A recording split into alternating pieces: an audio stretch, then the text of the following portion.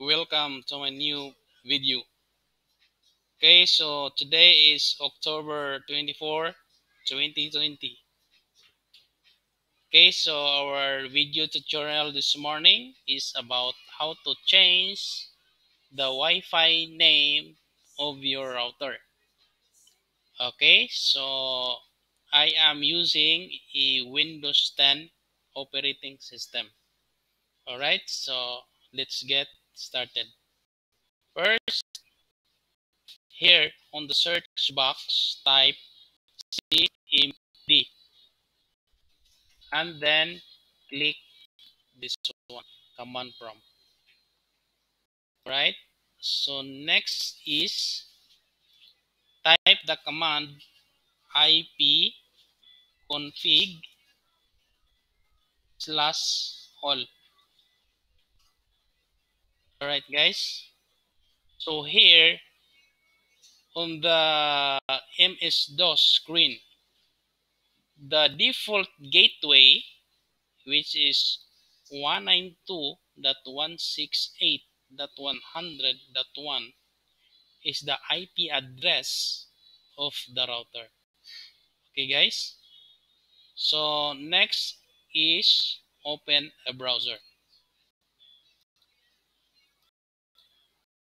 okay so this is a chrome browser.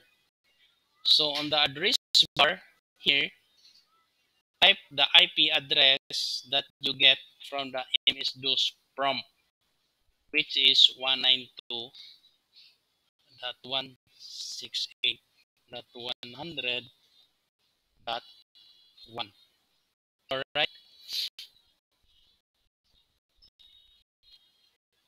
okay so it will ask you the administrator username and the password.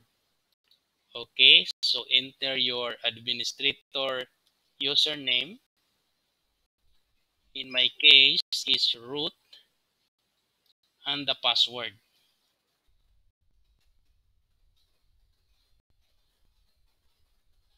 Okay then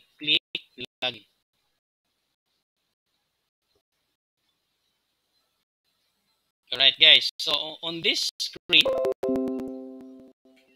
click w lan w lan this one.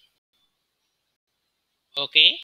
So under W WLAN basic configuration you will see this one. See? SSID name or Wi Wi-Fi name. So this is where you change the Wi-Fi name. For example, this one, I will change to Pinoy. Pinoy IT. Like that. And then afterwards, you click apply. And then it will change the Wi-Fi name to Pinoy IT.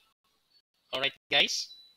So that is how we change the Wi-Fi name or SSID name. All right, all right, guys. So